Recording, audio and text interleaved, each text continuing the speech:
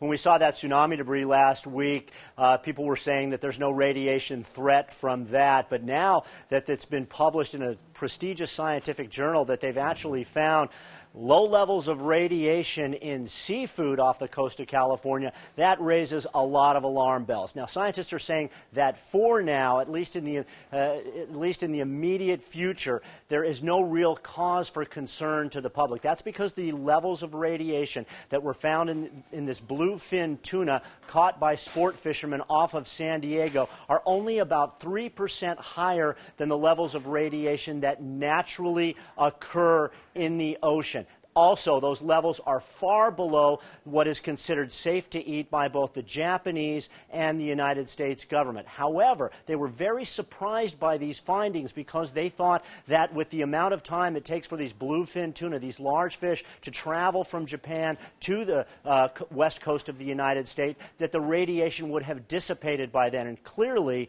it has not, Suzanne. And Casey, we talked to one of the scientists who did the research earlier today on CNN. Uh, he said he was pretty surprised about what they actually found. I, I want you to listen to how he described it.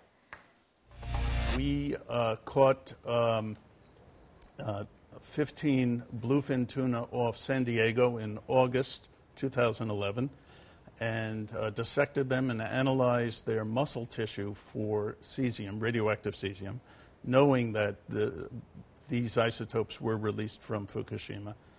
And we were quite surprised to find that uh, these bluefin carried these, uh, both of these radioisotopes, cesium 134 and cesium 137, uh, to uh, waters off California.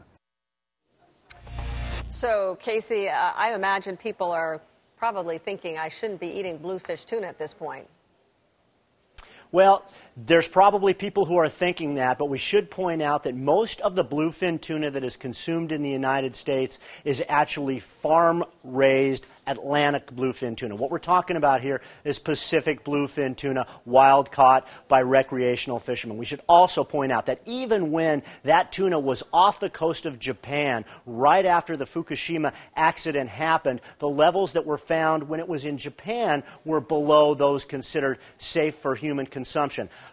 But that doesn't mean that we're sort of out of the woods yet. Scientists are going to test the bluefin that are now just beginning to arrive off the coast of California because those fish were actually babies born right around the time of the Fukushima disaster. So there could be different levels. They could be higher, they could be lower in those fish. They're going to test those and make sure that those are safe. For now, all the government agents say, all the government agencies say that the seafood, that bluefin tuna in particular, is safe to eat. Even one of the scientists who conducted the study said he wouldn't uh, hesitate to eat bluefin right now. And do we know how much of the fish that they're actually able to test, or is this a very small sample? It is a very small sample. We're talking about 15 fish here out of the tens of thousands that are, that are caught and consumed in uh, the United States and Japan every year. All right, Casey.